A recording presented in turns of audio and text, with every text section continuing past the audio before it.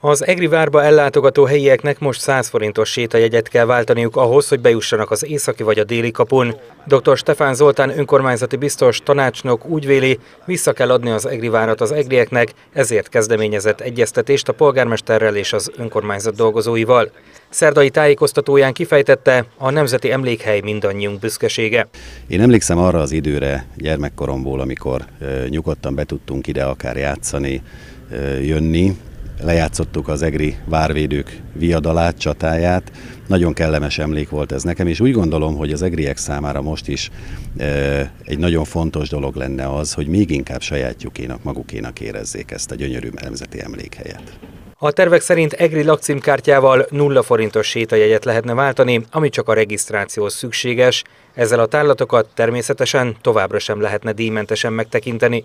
A vár látogatása már idén nyáron ingyenessé válhat.